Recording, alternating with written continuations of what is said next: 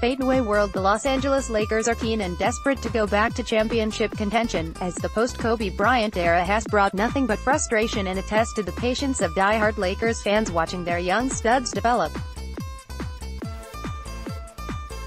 But now that the King has committed to join the Lakers and bring Showtime back to town, even despite the fact that they struck out on both Cousins and George, there may be a light at the end of the tunnel for the franchise. Even so, dethroning the Golden State Warriors looks like an impossible task right now after they finished Cousin signing but if Hollywood has taught us something is that anything can happen. So, why don't we go ahead and write a bit of a Hollywood story with the Lakers? Kobe returns now that they missed out on both Paul George and DeMarcus Cousins and the team is unwilling to part with a lot of future assets to get Kawhi Leonard in town, it would be Kobe's turn to leave it all behind and dress in shorts again to try and beat the Dubs. Kobe signs with the Lakers. Naturally, Kobe would sign a one-year deal with the Los Angeles Lakers, as he would never play for another franchise and would love the chance to stick it to the man and prove that he's the greatest player in franchise history, and will ever be.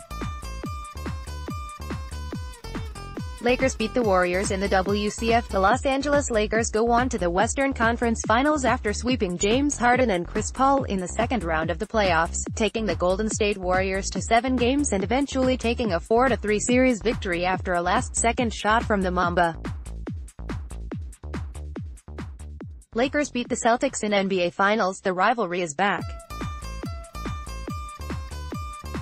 With James out of the Eastern Conference Finals, the Boston Celtics dominate from day one en route to the NBA Finals, with LeBron James blocking a Kyrie fadeaway at the buzzer to win the title.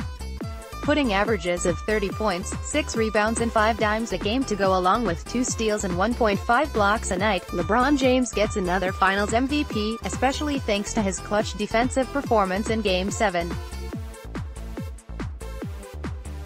Next to him, Bryant would average 15 points, 7 boards and 10 dimes, being something of the likes of Jason Kidd during the Mavericks championship run.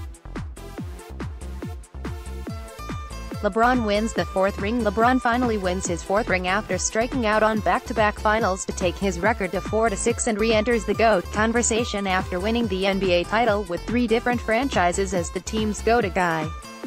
Kobe catches Jordan's six rings on the other hand, Kobe Bryant winds up winning his sixth NBA championship and finally ties Michael Jordan's six rings, lighting up the debate on which player was the greatest and confirming once and for all that there has never been a better Laker than him. Lakers tie Celtics 17 titles also, the Los Angeles Lakers would finally tie the Boston Celtics records after defeating them in the finals again, after Kobe also took them to school almost a decade ago. Winning the finals is great, but beating your lifelong rivals is even better. Kobe retires again proving that he's still got it and beating both the Dubs and the Celtics in the very same postseason, Kobe would hang the shorts once again and retire one more time, this time for good.